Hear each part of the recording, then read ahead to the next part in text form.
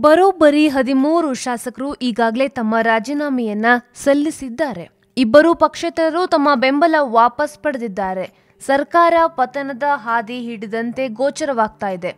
ಆದರೆ ಎಲ್ಲದಕ್ಕೂ ಉತ್ತರ ಇಂದು ಸಿಗಲಿದೆ. ಶಾಸಕರ ರಾಜೀನಾಮೆಯನ್ನ ಅಂಗೀಕರಿಸಬೇಕಿರುವ ಸ್ಪೀಕರ್ ರಮೇಶ್ ಕುಮಾರ್ ಅವರು ತಮಿಳುನಾಡಿನ ವೆಲ್ಲೂರಿಗೆ ತೆರಳಿದ್ದು ಇಂದು ವಿಧಾನಸೌಧಕ್ಕೆ ಬರಲಿದ್ದಾರೆ.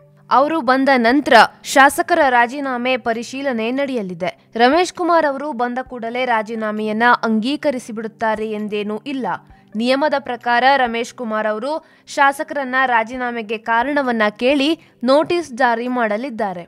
ಮೊದಲು ರಾಜೀನಾಮೆ ಸಲ್ಲಿಸಿದ ಆನಂದ್ ಸಿಂಗ್ಗೆ ನೋಟಿಸ್ ನೀಡಲಾಗಿದೆ. ಶಾಸಕರು ರಾಜೀನಾಮೆಗೆ ಸಮಂಜಸವಾದ ಕಾರಣ ನೀಡಬೇಕಾಗತ್ತೆ. ರಮೇಶ್ ಕುಮಾರ್ ಅವರು ರಾಜೀನಾಮೆ ನೀಡಿರುವ ಶಾಸಕರನ್ನ ಕರೆದು ಕಾರಣವನ್ನ ಕೇಳ್ತಾರೆ.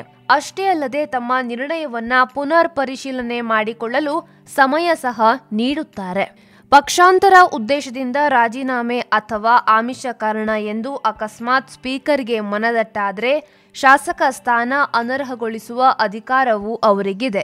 ತಮಿಳುನಾಡಲ್ಲಿ ಹೀಗೆಯೇ ನಡೆದಿದೆ. ರಾಜೀನಾಮೆ ಸಲ್ಲಿಸಿದ್ದ ಹದಿನೆಂಟು ಶಾಸಕರನ್ನ ಅನರ್ಹಗೊಳಿಸಿದ್ರು ಅಲ್ಲಿನ ಸ್ಪೀಕರ್.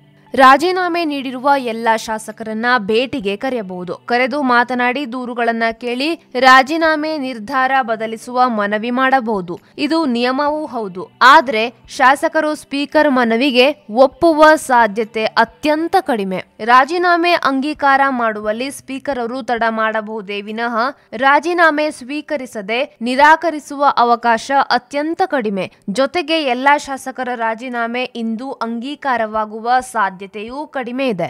ಸ್ಪೀಕರ್ ರಮೇಶ್ ಕುಮಾರ್ ಅವರು ನಿಯಮಗಳನ್ನು ಪಾಲಿಸುವಲ್ಲಿ ಸ್ಪೀಕರ್ ಹುದ್ದೆಯಲ್ಲಿದ್ದಾಗ ಪಕ್ಷಪಾತವಿಲ್ಲದೆ ನಿರ್ಣಯಗಳನ್ನು ತೆಗೆದುಕೊಳ್ಳಲು ಗುರುತಿಸಿಕೊಂಡಿರುವವರು.